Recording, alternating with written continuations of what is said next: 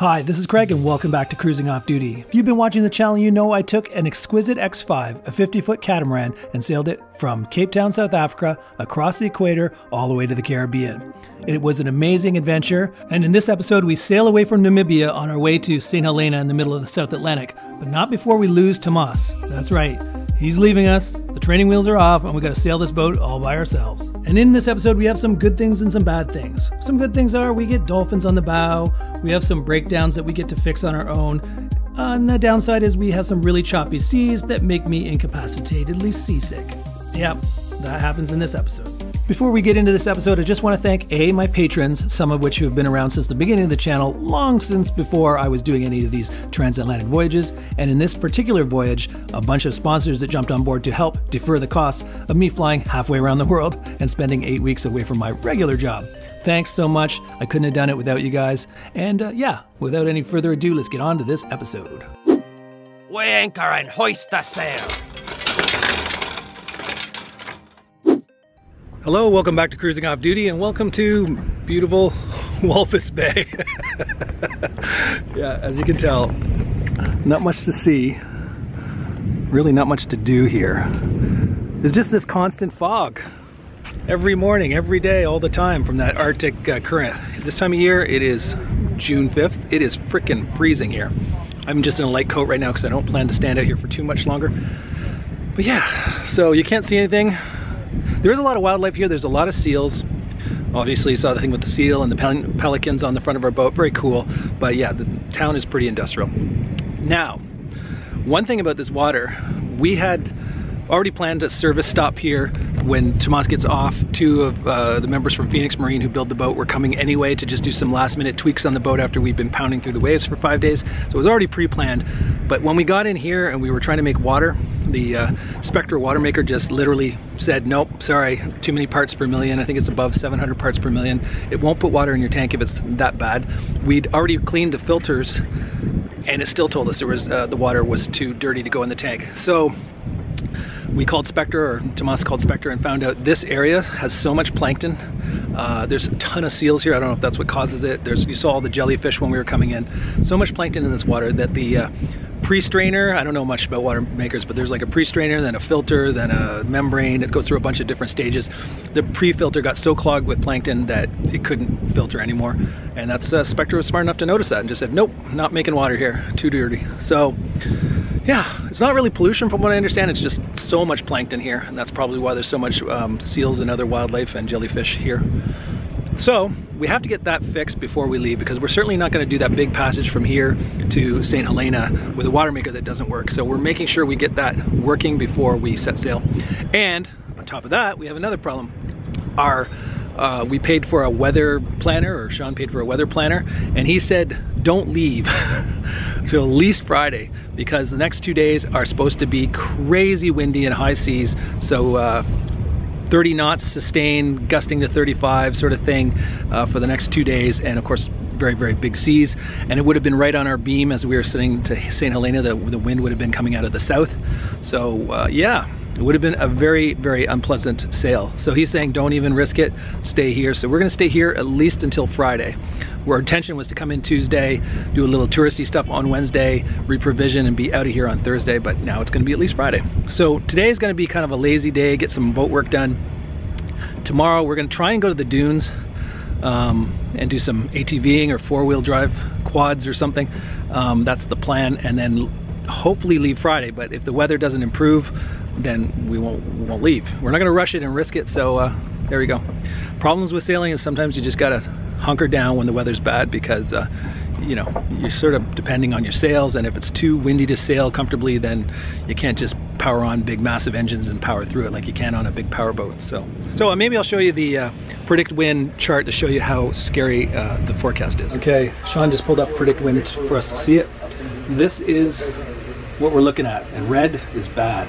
And that would have been, we're coming, this is our line, the yellow line would have been our path. So we would have been having that at the beam and it would have been pretty bouncy. So we're gonna hold off until it's Yep, 40 knots. 40 knots of gusts. So we're just gonna hunker down, do a little tourism. We're doing the ATVs quads tomorrow, is that the plan? Chasing pink flamingos. Chasing pink flamingos. Awesome. Well, we'll do something. Hopefully, it's warmer than it is out there now. So. Show the whole place torn up, man. Yeah, I told them they're doing service on the boat, so they're, they're adjusting on things and that water maker issue. So, all right, so that's why we're hanging out in Walvis Bay longer than expected. Okay, here we are. Uh, I guess it's the 6th of June. It's kind of a sad moment. Tomas is leaving us. The training wheels are off. We have to. No, don't go! Please don't go! We can't do it alone! Uh, Now you're on your own, guys. Take care. thanks. Thanks for everything. This, he knows this boat inside out and backwards, so. Take care, guys. See you. See ya. Missing you already. It's nice and at least it's nice and smooth this morning. Usually the wind picks up midday, so oh, it's still cold out here. So now we have to do this, the rest of this voyage, which is the most of this voyage, by ourselves. Um, yeah. So one guy who knew this boat inside, out, and backwards could hear something and know exactly what it was was the issue is gone. Uh, yeah. I'm a little nervous, just a wee bit. Okay, welcome back to Cruising Off Duty. This is June 7th, Friday, and we're about to leave Industrial Walvis Bay. Let me just flip it around. I haven't shown you already. This is what this harbor looks like. Now for anyone coming here, this is actually the harbor you need to come to if you want to go to Swakop. It's, it's actually Swakop Mung or something, Mund. It's German. It's supposed to be very touristy, very cute, lots of good restaurants and stuff. But they don't have a harbor, so this is the harbor that's closest. Uh, our tour guide yesterday actually lives there and does tours here, and it's about 30 kilometers. So you'd either need to get a tour from here to there, or rent a car or something. Uh, yeah, so something I'd like to check out in the future. Everybody in the viewers in the comments from the previous update video were saying that's definitely the town we want to visit. Uh, yeah, so now we have to get fuel, and of course the fuel dock isn't on this little main uh, like harbor where the pleasure craft have to go. It's on the other side where the big freighters have to go. So we've been told we got to go around, tie up to a police boat, and uh, figure it out from there. So uh, I'll bring you along. This is our favorite boat that we've been anchored next to. Look That's at my dream yacht right there. yeah, there's some pride in ownership, isn't there? I want to. I want. I want this yacht, and you see it is actually a sailing yacht. It's a motor sailor. You see the rig up in the front and the boom, so right? pretty. But then I want to leave it exactly like it is on the exterior, and I want to completely deck out Yeah. the interior. Get it all, all sweet inside, so nobody ever breaks in. But once you're in there, Think of the stories that boat could tell. Now, if you thought the harbor where we were anchored, where the pleasure craft were supposed to be, was a little industrial looking, check out what we found when we went around the bend to the area they told us we had to go get fuel. Nothing but cranes, freighters, fishing boats, and we were told we had to weave ourselves in amongst all those to find a police boat and tie up to that. We were assured by everyone this was the only place to pick up fuel, but we were the only pleasure craft. I mean, we were bright, white, brand new catamaran in amongst all these, well, let's just say very salty looking boats. get some work done.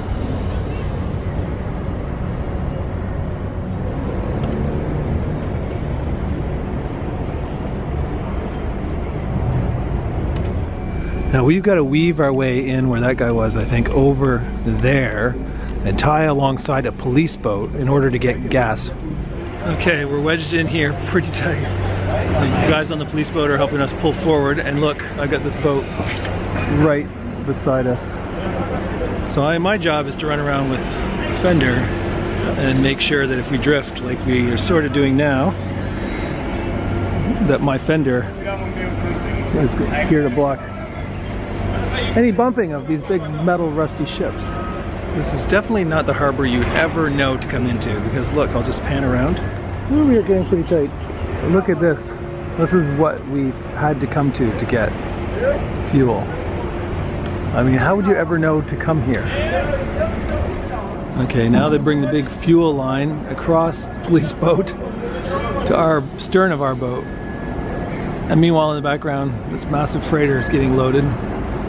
I don't even want to guess what has just started piling out of this rusty boat. It's steaming. Whatever it is, is steaming. So that doesn't sound like something that would be bilge water. And it looks pretty black. So I'm, I have a gut feeling it is. You know what? You know what it is. Just a gut feeling. That is some pretty filthy, filthy water coming out there. Luckily the wind, as you can see from the mist, it's blowing away from me so I don't have to smell it. So now Neil's taking back all our extra jerry cans. These are our jerry cans as well. We got them uh, recycled in uh, Cape Town for cheap, so they don't all have the perfect yellow diesel color, but uh, I'm guessing the diesel is very cheap here, so we're gonna get some extra. Because I'm sure St. Helena is not going to be cheap. Okay, we are unt untied from the uh, police boat and uh, doing our little pivot. Good thing about a catamaran with two engines, you can pretty much pivot on your own uh, circumference, your own radius. And uh, we're out of here. Out of customs, immigration, I guess. Got some last minute provisioning. I bought some rum because there was no rum on this boat, believe it or not. Sacrilege. And uh, yeah, should be a good rest of the voyage towards St. Helena Island in the middle of the Atlantic Ocean. Cool, isn't it?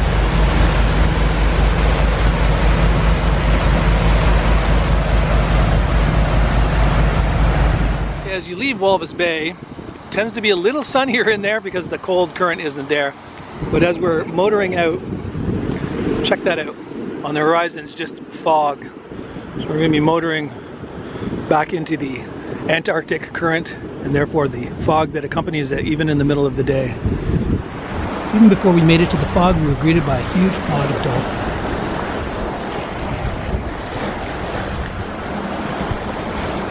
Coming away. Way over there. I know a lot of you say you like the ambient real life sounds I put in sometimes in stereo, so let's do that now with these dolphins. Put on the headphones.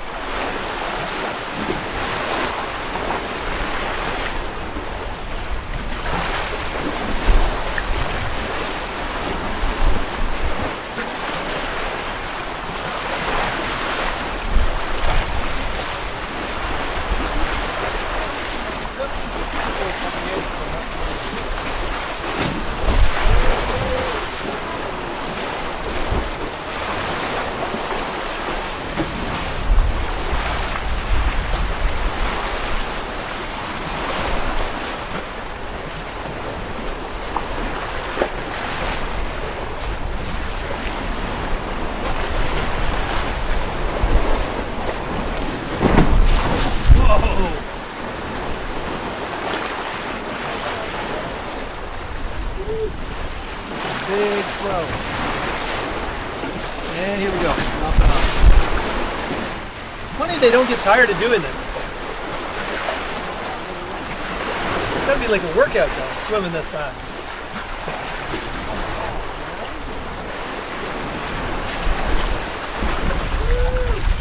Look at this. This is a swell oh, and a half.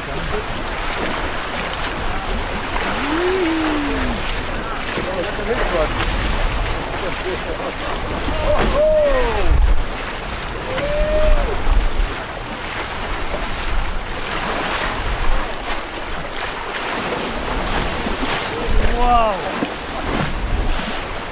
It never ceases to amaze me how long the dolphins will go on and on swimming. Now, maybe it's not the exact same dolphins, maybe they take turns, but it went on for so long, we actually got tired of filming them. That's how long it went on for. And believe me, we enjoyed every minute of what we did see. It would take us seven days to sail from Namibia to St. Helena Island in the middle of the South Atlantic, and we had no lack of wind. Not only did we have plenty of wind to sail pretty damn fast, but we also had what's called a confused sea. That's when the wind comes from one direction, but the swells from a storm in the ocean come from a different one. And for the first time in my sailing life, I actually got seasick. Not just a little green, I've been that before a couple of times. A little green, but never actually sick. That happened in this passage. And I was kind of out of commission for a couple of days, but let's let Craig from back then explain it to you. Hi, this is Craig, and welcome back to Cruising Off Duty. This is June 10th. We're finished our third day of uh, sailing from Namibia to St. Helena Island. I haven't filmed for the last couple of days, last two or three days. I want to tell you the truth. I was incapacitatedly seasick. Um, hopefully you can hear me okay over the wind. We're sailing at about 25 knots of wind. Big wave came over the bow just now. It has been sunny or mostly sunny, so the weather's been okay. It's just starting to warm up now. It was freezing cold leaving Namibia. We were all dressed in layers and long underwear and stuff. Just never expected that in Africa. Just in case you're wondering what I'm looking at, I'm in my cabin. I did record something like this outside with my cinematic camera, but it's so windy and wavy and bangy that uh, I wasn't sure if you could even hear me, so I'm going to do another one in here. Every once in a while I'll look out the window because I'll just show you what I'm seeing. Every once in a while one of these big swells comes along and slams right into my window. All of this bouncing and confused seas has made it not only hard to sleep, but I got very, very seasick. I didn't get seasick on my last passage from Las Palmas to St. Lucia, but it was A, much calmer, and B, we did all downwind sailing pretty much. We had our spinnaker out a lot, and when you're in a catamaran sailing downwind, it's way more, well, it's perfect. So comfortable, it's like being in a condo. Um, we are on a beam or broad reach. We have a huge storm was to the south of us and has sent us these huge 15, whatever sometimes people say 20 foot swells. Um, and the swells aren't so bad because they're big and the boat kind of just lifts up and then drops down. What makes it hard is when there's wind coming from a different direction than the swells. And then you get what's called a confused sea. So when you get confused sea, what happens is your, your, your catamaran already is way more twitchy than a monohull. When you hit, get a wave on your left or a swell on your left, it goes up.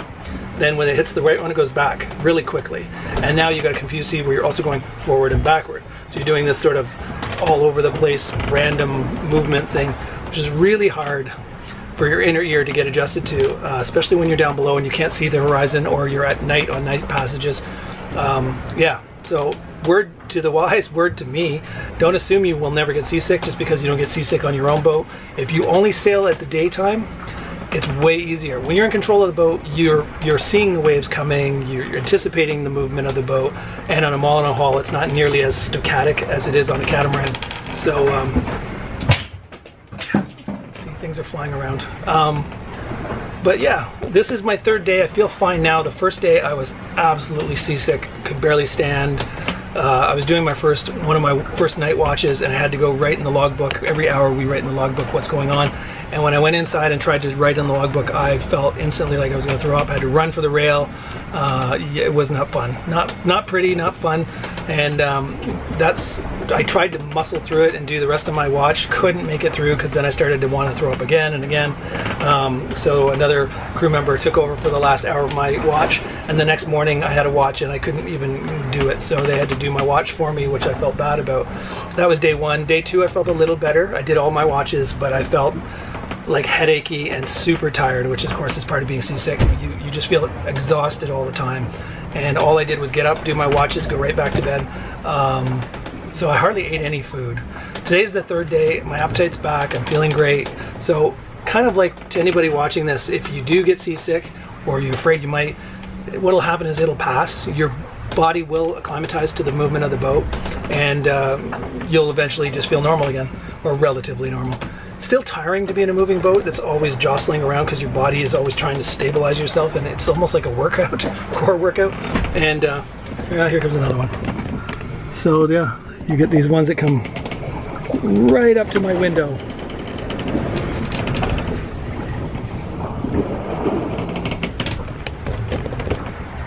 See what I mean? And that's just splashing the window. That's not even sometimes when did it again sometimes when it goes under the boat, it'll actually slam into the opposing hull and go under. The wave goes under the boat and doesn't, boat can't turn back quick enough before it hits the inner hull of the opposite side and just boom, hits it really, really hard. On our first passage to Namibia, the wind was from the other side, so it was our hull getting slammed into. Now the wind is coming from our side on the port side, so it's slamming into the starboard hull. Um, yeah, so it's just something catamarans have happen. It's not this catamaran or any other catamaran. When you are on a beam reach and there's big, big waves, you're going to get some slamming, side slamming. That's all there is to it. And then every once in a while, you're going to get waves pounding against your port lights here on the side, which is uh, interesting. You keep thinking that's going to come right in and crash into you into your bed. So that's what it's been up and nothing other than that we had the the, the dolphins that i probably only showed already showed you uh, footage for but we haven't had any wildlife now then again, it's been wavy and crappy outside, so guys aren't hanging out at the rail looking for animals either. Um, and it also was until today quite cold, so nobody really wanted to sit out on the bow of the boat, just uh, enjoying the water going by, getting splashed in freezing cold temperatures. So it's been uh, less than enjoyable, let's just say. But we're more than, well, we're three days into a seven day passage to St. Helena and we already feel it getting warmer. We're out of that Antarctic current now, so I can actually wear a t-shirt. Yay. That's it for now. Ciao. So now that I feel better, I'll get a lot more filming done. I didn't feel like even picking up the camera at all when uh, I felt seasick. You just don't want to focus on anything. You feel better until you try and focus on something, you know, writing in a logbook or doing something where you got to focus your attention, and then with everything moving around, you just feel bleh again. So, no interest in filming, no interest in writing anything in the logbook, no interest in doing much of anything. So, it's a lesson. Anyways, I'll show you some of the footage of what's going on around us.